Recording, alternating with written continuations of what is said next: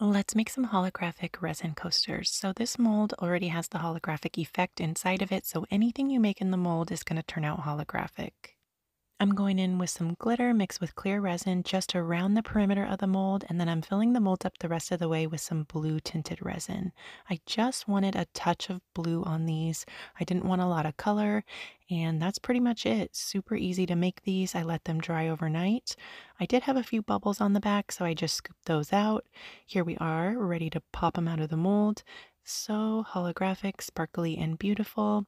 I am, I think I am going to turn these into sun catchers, but you could just attach some clear rubber bumpers on the back of these and then they'll be good to go as coasters. Um, I did a test run on one of these and turned it into a sun catcher. Super pretty. Let me know what you think. I hope you give this a try. Let me know if you have any questions down in the comments and thanks for watching.